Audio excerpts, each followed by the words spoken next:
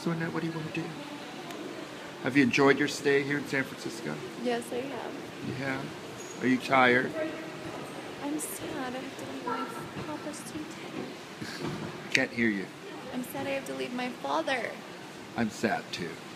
Anyway. How about you, Rissy?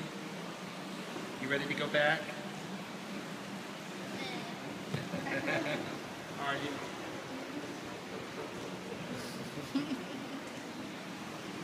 It's been a lovely time with my daughters. Too bad they're not here. What? I'm just kidding. As we now zoom, go to see Annette. We don't know what she's doing. Uh oh. Is she Instagramming again? Instagramming? Oh, what's behind her? The streets of San Francisco. Looking at the roots.